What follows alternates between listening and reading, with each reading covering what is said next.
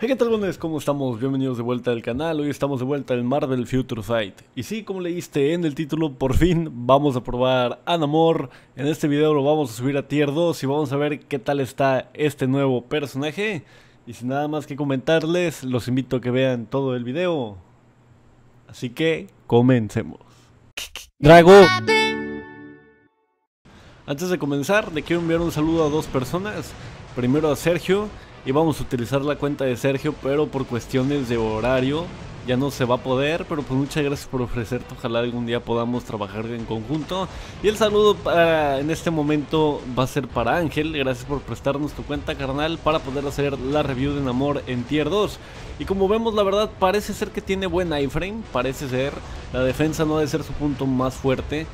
Pero bueno, es un 6 estrellas en una misión de Tier 2, la más complicada del juego.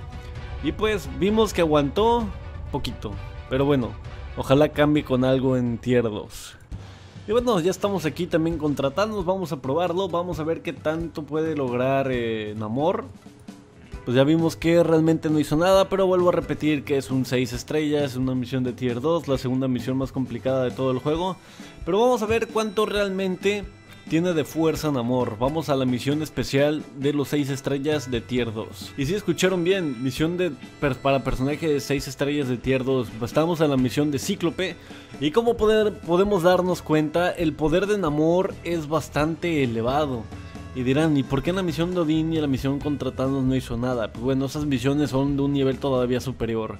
Estas misiones, al menos yo las utilizo cuando veo que el personaje a probar en 6 estrellas lo vemos débil pero cuando lo probamos en una misión que podría estar al nivel de los mejores 6 estrellas en tema de daño, venimos a estas misiones de los X-Men.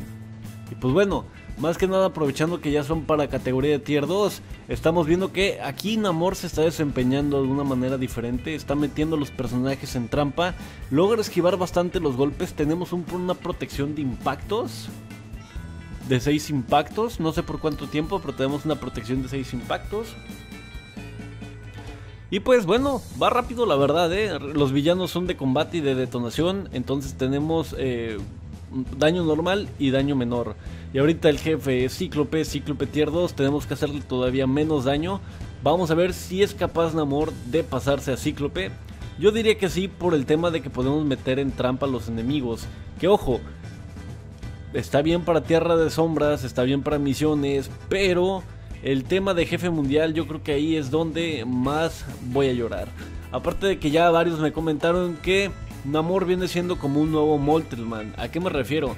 Al tipo de jugabilidad. Si se fijan, Moltelman se utiliza para batalla de alianza extrema del día de villanos con un CTP de ira.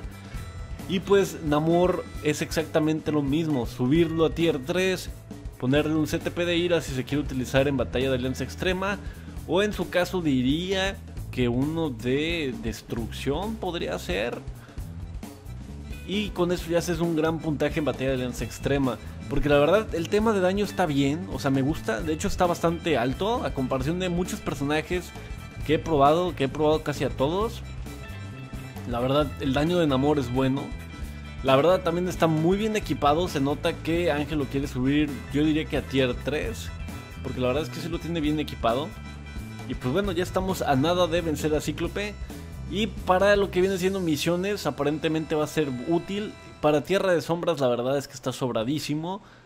Y Batalla de Alianza, ya he visto videos que la verdad se la rifa, pero por la equipación y los cromos. Pero, en general, Namor parece ser que es un personaje bueno. Ya lo veremos cuando me toque utilizarlo ahorita contra el jefe mundial.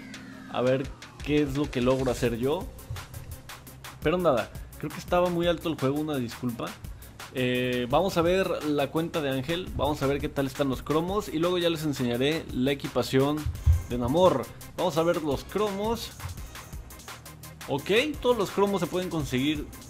Bueno, estos tres ocupas un uniforme especial, pero los otros dos son muy fáciles de conseguir. Tenemos por aquí 28 de recarga, bastante bueno. 17 y 16 y 30 de todos los ataques. Y tiene, yo diría que casi todas las colecciones activadas. Tenemos por aquí a Namor, puesto 4362, que se me hace muy buen top para ser un personaje todavía en 6 estrellas. Tenemos la probabilidad de crítico al máximo por el liderazgo, casi toda la recarga y todo lo demás normal. Tenemos por aquí Urus en míticos y legendarios. La verdad es que les digo que lo está equipando bastante bien. Por aquí tenemos penetración de defensa, tenemos todas las habilidades en más 6. Tenemos por aquí puesto tipo 0, fuerza Hulk cabreado, todos los ISOs despertados. Vemos que por aquí tenemos ataque físico, ataque físico, ataque físico, ataque físico y todos los ataques. Y por aquí tenemos un obelisco de índice crítico con el aumento del 200% de daño Así que vamos a ver qué tal están las habilidades. Tenemos ataque con lanza que no hace nada. Tenemos ráfaga de tridente que da atadura a los enemigos. No es trampa, perdón. Tenemos golpetazo de ola que no hace nada. La pasiva, super armadura todas las defensas y todo el daño se reduce. Ataque de kraken, protección de 8 impactos, no eran 6. Incursión de la ballena asesina. Aturdimiento a los enemigos, se aplica a todos los aliados, todos los ataques, todas las defensas, todas las velocidades, se aplica a ti, todos los ataques, todas las defensas, todas las velocidades. Ok, es una habilidad para potenciarnos.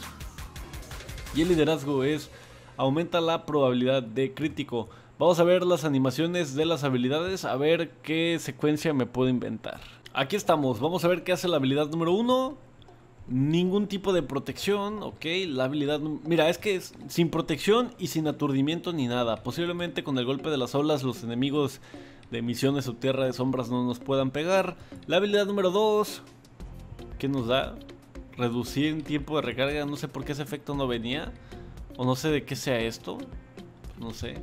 Tenemos la habilidad número 3 que sí tiene iframe, ok, la primera habilidad con iframe, entonces podemos usar la número 3, caemos y luego usamos la número 2, ok, luego usamos la número 4 que tiene la protección de impactos, y la número 5 que es la que nos va a potenciar, que es la que está llena de iframe. Ok, entonces técnicamente yo diría la habilidad número 3. O no, ¿sabes qué puede ser? Usamos la número 4, cancelamos luego la 3, caemos y luego la 5. Y luego ya que terminemos utilizamos el tier 3 ya que lo tengamos. Puede ser una secuencia que diría yo que puede ser útil. Y pues, a ver qué tal está contra el jefe mundial. Recuerden, 4, cancelamos la 3, taquiramos y luego la 5. Y luego otra vez, bueno, dejamos que termine la habilidad, ¿verdad? Vamos a ver cuánto termina para evitar cagarla. Ok, ahí está, listo. Ok, jefe mundial, medianoche próxima, vamos a ver qué tal está, vamos a ver la recarga. Porque una cosa es que te recarguen las habilidades en 5 segundos y otra es que realmente eh, te recargue igual en el mundo normal. Pero sí, la secuencia que podemos utilizar con un cuarenta y tantos de recarga, bueno, no es exactamente como la habíamos visto, pero pues bueno, es más o menos parecida. Sí se puede utilizar, nomás que la habilidad número 5 sí tarda bastante. Entonces sí hay que tener algo de cuidado. Pero ojo, es un 6 estrellas y la verdad es que el daño está bien, ¿eh? O sea, yo me esperaba que posiblemente ya estuviera muerto, pero el tema de daño... Para ser un simple 6 estrellas, el daño está bastante bien, diría yo. Y es que ya lo vimos en las misiones, entonces... La verdad es que el daño, mira, está... Y obviamente no está potenciado con ningún tier 2. Entonces es un personaje a tener bastante en cuenta. No sé por qué empezaron a hablar muy mal de Namor. Digo, yo nunca lo había probado, yo simplemente repetía lo que eh, me decían. Pero en tema de daño no se, me, no se me hace nada malo, ¿eh? Al contrario. Se me hace un personaje bastante interesante en el tema de daño. Sí diría que tendremos que tener la recarga al máximo. Y la habilidad número 5 se va a tener que 100% potenciar con el tier 3. No, al revés. El tier 3 se va a tener que potenciar 100% con, el con la habilidad 5. Pero es cuestión de agarrarle la, el ritmo a las habilidades y a la recarga. Y cómo hacer una rotación interesante. Así que pues bueno, la verdad, Namor... Pues al menos en tema de daño está bien. Defensivamente hablando, ya que he recibido varios hits del jefe, la verdad puedo decir que Siento que sí sabe aguantar los golpes. Hay personajes que ya hubieran estado muertos. Hay otros personajes que nunca en la vida le hubieran hecho daño. Entonces... Pues la verdad... Eh, está bien. Sí, está bien. O sea, ahorita que ya lo probé y que no estoy este eh, basándome en los comentarios que los demás me decían. En tema de daño, Namor es buenísimo, ¿eh? O sea, es que es un 6 estrellas, es una fase 10. O sea, no es que esté jugando la fase 1, es una fase 10. También digo, tenemos muy buenas estadísticas en los cromos. Una equipación también muy buena. Pero... Está bastante bien. Lo voy a dejar aquí para que el video no se me haga tan extenso. Pero, hey, primeras impresiones de Namor. Me gusta. Ahora sí amigos, va llegado el momento que muchos estábamos esperando, que es desarrollar a Namor a Tier 2. Así que nuevamente Ángel, muchas gracias por prestarnos la cuenta para poder subir a Namor. Y ya lo tenemos, tenemos Furia de Atlantis, es el Tier 2. Vamos a compartirlo por la alianza. Gana 4090 de ataque, está bien, está bastante bien. Y las demás estadísticas, pues la verdad no me interesa mucho, sobre todo estas dos, estas tres. Es un personaje 100% de ataque físico, se me olvidó comentar. Furia de Atlantis, se aplica a ti 30% de probabilidad de aumentar el daño crítico en 100%. Lástima que ya lo tenemos al máximo. Aumenta el daño crítico otra vez y aumenta la probabilidad de crítico. Ah, lo que teníamos era... La probabilidad era al máximo. Aumenta el efecto de la habilidad durabilidad acuática. Ok. Vamos a ver qué fue eso de durabilidad acuática. Superarmadura todas las defensas, todo el daño se reduce. Creo que todo el daño fue aumentado. No estoy muy seguro. Pero creo que ese fue el gran cambio que tuvo eh, esta pasiva. Y pues la verdad, top 4000. No se movió mucho. Ah, 1600. Sí se movió bastante. Y pues bueno, 20.000 de ataque físico. Ya estamos listos para darle duro al Almendruco. Yo creo que si lo vas a subir a tier 3, sí le puedes cambiar ese obelisco tranquilamente. Ya me avisaron, ya me comentaron que Namor en modo automático no se pasa a Odín. Mínimo Ojalá en modo automático pueda llegar contra Odín, la verdad es que estaría bien. Y no sé por qué en esta misión siento que le hicieron ya más daño que yo contra un jefe mundial fase 10. En teoría eso es bastante extraño. Ni que los enemigos fueran de otra clase, pues son de clase combate, entonces está raro. Al menos lo que puedo decir, ya siendo sinceramente muy objetivo, es que Namor está bastante bien. Parecerá broma lo que le estoy diciendo. Pero es que se me hizo un personaje bastante bueno. O sea, en tema de daño está bien. Ustedes vieron cuánto daño le hicimos a medianoche, fase 10. Sin ningún potenciador de tier 2, sin strikers. Nomás un liderazgo de ataque físico. Entonces, está bastante bien. Ya está nada de llegar contra Odín. Para mí un personaje bueno es el que solito llega contra Odín, aunque tenga un liderazgo malo. En este caso no es tan malo, es probabilidad de crítico. Pero hay personajes con resistencia mental y cosas así que logran llegar contra Odin tranquilamente. incluso algunos logran ganarle. Pero la verdad es que en Amor estoy sorprendido. La verdad, fuera de broma, yo no esperaba decir esto del personaje. De hecho, pienso que Wave es la más mala de toda la actualización. Porque meramente Wave está hecha para potenciar en Amor y potenciar al resto de, de tus equipos en batalla de alianza o jefes mundiales. De ahí en fuera, Wave la verdad es muy malita. Y un piso de tierra de sombras, ponle. Pero la verdad, Namor. ¿Saben qué fue lo que le faltó a Namor? Una habilidad con penetración de escudos, barrera e inmunidades. Eso es lo que le faltó. Bueno, tal vez una inmunidad todo el daño también. Ok, contra Thanos, Tanitos, el chico caldito. Vamos a ver qué tanto puede hacer aquí o qué tanto aguanta los golpes. Mira, comparación de 6 estrellas sí incrementó bastante la defensa. También la esquiva la tiene alta porque está esquivando muy buenos golpes. Por ejemplo, ahí no le hizo ni madres. Ok. No sé por qué lo aturdieron ahí si tiene super armadura, pero bueno, está bien. Vean cómo esquiva, ¿qué onda? ¿Por qué esquiva así? Parece como si tuviera en el tier 2 también esquiva. No sé, no me fijé cuánto esquiva tiene Ángel en la cuenta, pero esquiva bastante el, el amor, ¿eh? Oye, pues la verdad sí. Yo creo que si se dan cuenta, sí estoy, estoy sorprendido, más no extasiado como cuando vemos unos personajes que hacen un daño muy bomba. Pero estoy sorprendido, yo la verdad pensaba que Namor iba a ser una decepción, pero no, ¿eh? He probado otros personajes, por ejemplo, la... Ah, ¿cómo se llama esta morra? La... La, Júbilo. Júbilo no me gustó para nada, sí se me hizo un personaje muy malo. Pero yo pensaba que Namor iba a ser parecido, pero no. Tiene mejor daño, posiblemente hasta mejor protección que Júbilo. Ay, por cierto, se me había olvidado. Namor se consigue comprando el paquete de 20 bios en la tienda. Este es un personaje de paga. Entonces, para los que tenían dudas, así se consigue. Y bueno, la hora de la verdad. Vamos a ver cuánto gana de daño Namor.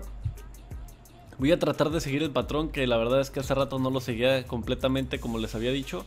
Pero bueno, más que nada tenía, ya tengo una idea de cómo utilizar el personaje.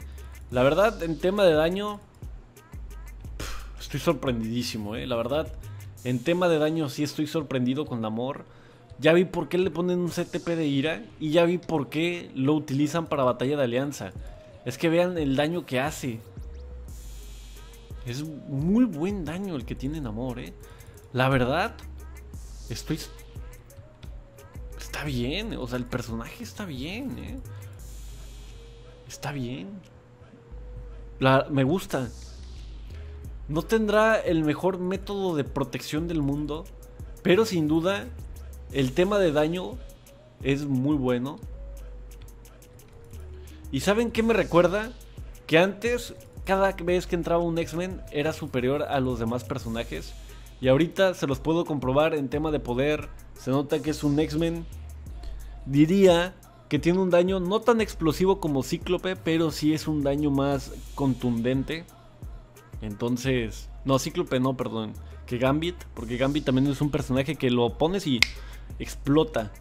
Pero no sé, me gustó más jugar con Amor que jugar, que, que jugar con Gambit. Siento que Gambit hace más daño, pero Namor es como más divertido, no sé. Y ya para terminar este video, la verdad, me lleva una muy buena sensación del personaje. No sé si es por la equipación tan hardcore que tenemos aquí o por los buenos cromos que tenemos aquí. Pero la verdad es que Namor se me hizo un muy buen personaje. No los voy a engañar. Me gustó. Netmabu, si estás viendo el video, me puedes regalar los paquetes de bios normales y los GNX, ¿eh? Yo no, yo aquí nomás digo, ah, por si quieres que yo también tenga esos personajes en mi cuenta. Pues nada, aquí voy dejando este video. Muchísimas gracias a todos por verlo. Espero que les haya gustado.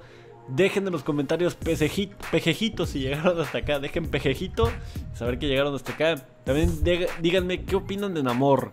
La verdad yo esperaba que fuera a ser una basura, pero la verdad cambió mi mentalidad y sí me gustó Namor, eh. La neta sí está chido, vale la pena. Para los que juegan batalla de alianza, si le quieren equipar un CTP de ira, ya he visto videos que se va a hacer el día completo. Y pues nada, tienen mis redes sociales en la descripción, los invito a que me sigan. Y nos vemos hasta la próxima. Adiosillo, cara de pillos. Fin de la transmisión.